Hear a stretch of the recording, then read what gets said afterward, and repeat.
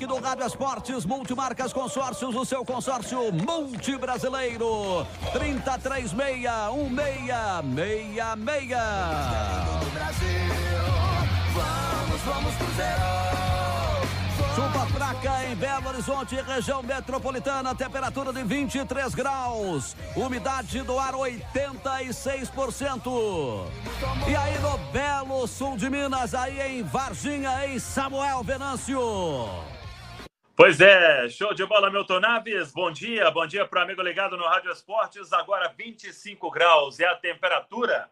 O tempo tá nublado, sol entre nuvens aqui em Varginha não choveu ainda nesta quarta-feira aqui em Varginha, que recebe este jogo de muita expectativa, Boa Esporte e Cruzeiro. O Cruzeiro está desde ontem aqui em Varginha, aquele voo rasteiro, a chegada por volta de 6h50, quase 7 horas da noite, e o Cruzeiro concentrado no Hotel Café Royal. E aí, obviamente, interior, né, a Nação Azul sempre marca presença muitos torcedores ali na chegada dos jogadores e os mais procurados, né? O Fábio, o Léo e o Marcelo Moreno e também o técnico Adilson Batista. A turma passou, aí teve o jantar, teve o lanche, hoje pela manhã o café e agora está tendo aquele almoço no hotel Café Royal, a concentração do Cruzeiro. O time que fechou a preparação ontem pela manhã aí em Belo Horizonte. E o técnico Adilson Batista tem passado para o Cruzeiro naquele material completo da comissão técnica, o estudo do Boa Esporte, que vai ser um jogo totalmente diferente do que aquele que abriu a temporada oficial para o Cruzeiro. O Cruzeiro venceu o Boa Esporte por 2 a 0 no Mineirão, um gol do centroavante Thiago, que está entre os relacionados, e também um gol do Wellington, já no final, um contragolpe, o passe do Judivan, Wellington saiu cara a cara com o goleiro e marcou o segundo gol do Cruzeiro naquela primeira partida oficial neste ano de reconstrução. Só que agora todo mundo sabe, não tem mais a vantagem do empate, empate que garantiu o Cruzeiro nesta segunda fase, lá em Boa Vista, Estádio Canarinho contra o São Raimundo, o 2 a 2 e agora o Cruzeiro esperando dificuldade, mas querendo, claro, avançar para a terceira fase da Copa do Brasil, principalmente.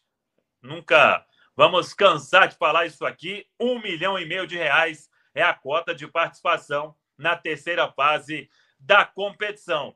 O time, eu quero ouvir daqui a pouco o Júnior Brasil, o que, é que pode fazer o técnico Adilson Batista, mas primeiro o jovem Pedro Bicalho está conosco aqui no Rádio Esportes para falar sobre o primeiro gol marcado, os elogios do técnico Adilson Batista e como você vem recebendo isso tudo, hein, Pedro? Os elogios faz crescer mais, né? É, me faz é, querer mostrar no dia a dia, evoluir, né? Cada dia mais é, buscar para ajudar os meus companheiros dentro de campo. O pessoal às vezes não se lembra, mas você já atuou como 10 na base não tem tanto problema dentro da configuração que o Adilson tem, às vezes, colocado em jogo. Às vezes o pessoal pensa, três volantes é um time que não é ofensivo, mas você tem essa característica de já ter jogado de 10? Sim, quando eu cheguei no Cruzeiro, eu jogava de 10. É, daí, com o passar do tempo, eu fui vindo, jogando de volante.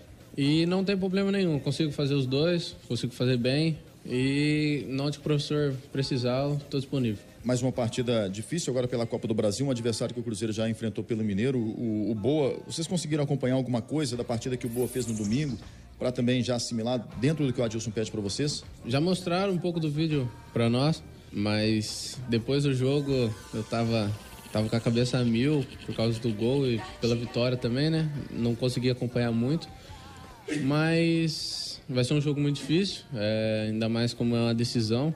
E se Deus quiser vai dar tudo certo. Ô Pedro, você entrou naquele jogo contra o São Raimundo, né, lá em Boa Vista, Roraima. Um gramado em condições diferentes que o Cruzeiro deve encontrar nesse jogo contra o Boa, só que não tem a vantagem mais do empate. O que, que você acha que vai mudar neste compromisso, valendo vaga aí na terceira fase da Copa do Brasil? É, quando o campo é melhor, é, a tendência é o nosso time sair melhor, né? Que é um time de qualidade E a diferença vai ser essa: vai ser o campo, vamos conseguir colocar a bola no chão, trabalhar bem para sair vitorioso. O Cruzeiro enfrentou o Boa né, no primeiro jogo do campeonato estadual. Agora, no, nesse jogo valendo esta vaga na Copa do Brasil, espera mais dificuldade? A história muda um pouco, né?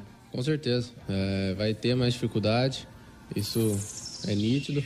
É muito diferente, né, cara? Por causa que é, jogo é como um clássico, é, é resolvido nos detalhes.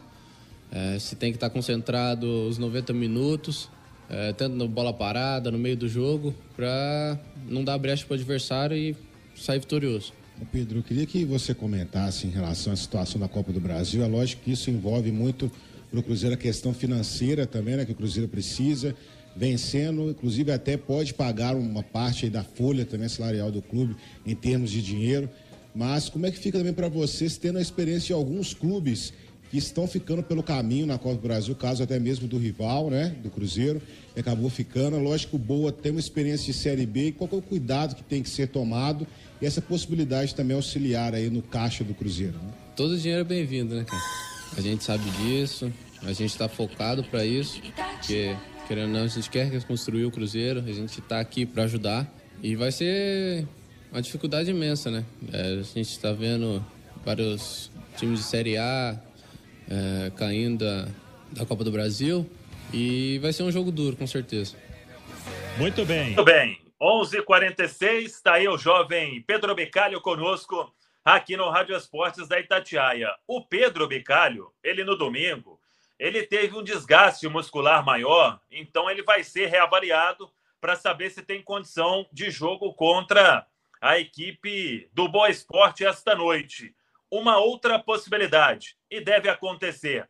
O Kaká, depois aí, Júnior Brasil, de tomar não sei se um susto, mas ele deve voltar entre os titulares e o Arthur retornando para o banco. O Arthur marcou o gol, que teve uma atuação importante, mas o Kaká é o dono da posição, pelo menos deve começar hoje ao lado do zagueiro Léo. Fica essa dúvida quanto ao Pedro Bicalho, se ele não jogar, e o Adilson tem um leque de opções, pode mudar o esquema, até porque o Cruzeiro não tem um outro volante para ele jogar com três neste duelo diante do Boa. De qualquer forma, o time só sai uma hora antes da bola rolar.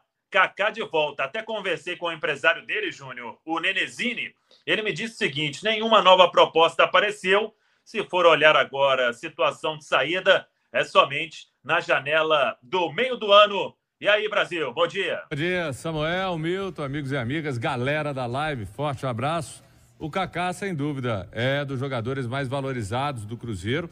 Tem aí um bom espaço, tem possibilidade sim de negociação, mesmo que seja é, no meio do ano. É um jogador muito firme, seguro. O Arthur entrou, fez o gol, é, mostrou alguma dificuldade, algo mais do que natural. O jogador precisa de ritmo, precisa de sequência. É aquilo que você definiu, viu, Samuel? De repente, um susto, o cara volta mais concentrado, um jogo muito difícil. O Boa é um time bem preparado fisicamente, uma equipe que tem gás para o segundo tempo, tem banco, tem Cezinha, que é um jogador veloz, entra no segundo tempo, às vezes faz a diferença.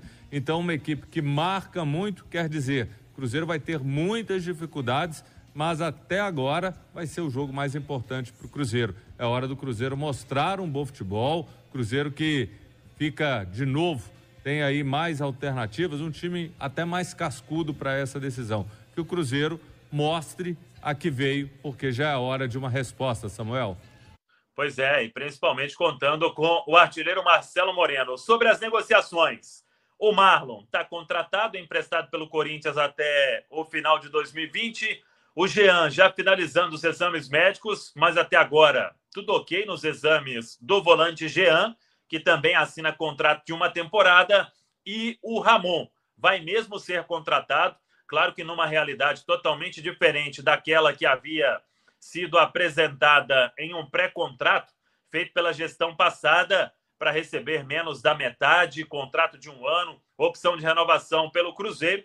Ramon, que tem experiência também na Série B do Campeonato Brasileiro, faz zagueiro, faz também volante e chega aí para reforçar esse time do técnico Adilson Batista. O que o Cruzeiro está atento agora ao mercado: um lateral esquerdo, um meia, talvez mais um atacante de velocidade. O clube segue interessado no Angulo do Palmeiras. Daqui a pouco a gente volta aqui de Varginha no Rádio Esportes. Show de bola. Valeu, Samuel Venâncio. Faltando 10 minutos para o meio-dia e sua mensagem, Júnior Brasil. Aquele recado especial para você, meu amigo. Vou te dar uma dica. Você que há muito tempo não marca aquele golaço com sua parceira e está precisando melhorar sua performance, a solução Eros Plus esse estimulante natural vai te ajudar a ter mais prazer na sua vida íntima. Eros Plus é o plus da sua relação. Você vai melhorar seu desempenho e sua disposição sexual. Ligue 3063-8989. Quem ligar agora vai ter uma condição especial para o tratamento de três meses e ainda vai ganhar um brinde exclusivo. 3063-8989. Volte a bater o bolão com Eros Plus. 3063 8989. Legal. E você, Álvaro Damião, tá de boa? De boa, Milton. Um abraço para você, um abraço para os ouvintes do Rádio Esportes. 11 horas com mais 50 minutos. O técnico Nedo Xavier, Milton, não deve mudar muito o time que empatou com o Atlético por 1 a 1 pelo Campeonato Mineiro. A única alteração deve ser mesmo no setor ofensivo. A expectativa é pela volta do atacante Gindre. Ele ficou fora do jogo contra o Galo por causa de um incômodo na coxa, mas fez tratamento nesses últimos dias e pode ser uma opção para o treinador. Sobre o Nonoca, nós já dissemos, mas vale explicar. Ele é do Cruzeiro, está emprestado ao Boa. Se o Boa quiser escalar o jogador, pode, mas tem que pagar uma multa de 500 mil reais. A diretoria ainda não confirmou se vai depositar a multa para escalar o jogador ou se não vai mexer com isso. Pelo que apuramos, o Nonoca não jogará hoje contra a equipe do Cruzeiro. Caso o Gindre não jogue, não tendo Nonoca também, Cezinha ficaria com a vaga. O provável time do Boa: Renan Rocha, Yuri Almeida, Wesley, Henrique Moura e Ferreira, Caio César, Claudeci, Carlinhos e Gindre ou Cezinha, Goteira e Jefferson. Agora eu dou um recado para você que vai se hospedar em Belo Horizonte. Atenção para essas duas indicações. Olha, uma é o Impa Suítes no bairro Cidade Nova e também no Gamileira. Conforto e qualidade, o melhor custo-benefício da capital. Acesse imparotéis.com.br ou ligue 2533 2300. Agora, se você quer uma opção no bairro Luxemburgo, aí você quer o Ville Celestine, um hotel de alto padrão com piscina, sauna, quartos altamente confortáveis, uma infraestrutura de dar inveja nas maiores redes do país. Acesse o site villecelestine.com.br ou ligue 31